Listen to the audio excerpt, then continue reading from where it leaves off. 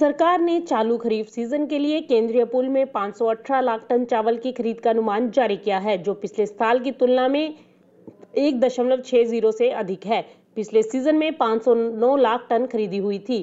केंद्रीय खाद्य सचिव सुधांशु पांडे की अध्यक्षता में चावल खरीद और बुआई पर राज्यों के साथ केंद्र की बैठक में चर्चा हुई।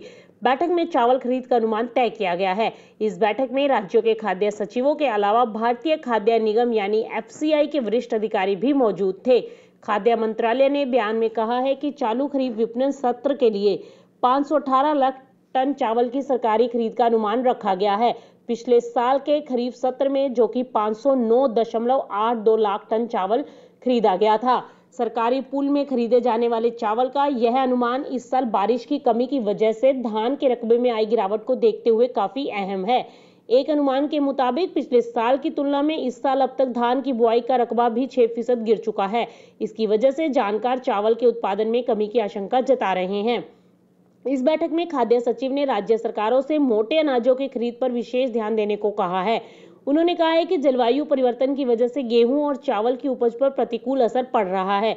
लिहाजा मोटे अनाजों पर ध्यान देने की ज़रूरत है। इसके चलते इस खरीफ खरीदारी सीज़न में राज्यों के, राज्यों में तेरह दशमलव सात ज़ीरो लाख मीट्रिक टन मोटा अनाज खरीदने को कहा गया है। अभी तक राज्यों ने छह दशमलव तीन ज़ीरो लाख मीट्रिक टन मोटा अनाज खरीदा है। सरकार धान की खरीद करती है, जिससे मिलों को भेजकर चावल में प्रसंस्कृत किया जाता है। एफसीआई के अलावा राज्यों के अपने संगठन भी सरकार की तरफ़ से तय न्यूनतम समर्थन मूल्य पर इसकी खरीद करते हैं। इसके अलावा बैठक में मशीनीकृत खरीद व्यवस्था लागू करने पर भी चर्चा की गई है कि कम ब्याज दर पर उधार की ज़रूरत पर बल दिया जाए। खरीद प्रक्रिया को किफायत बनाने के तरीकों पर भी इसमें चर्चा की गई है। लेकिन फ़िलहाल आपको बता दें कि अभी चावल की सरकारी खरीद बढ़ सकती है। Bureau report, Market Times TV.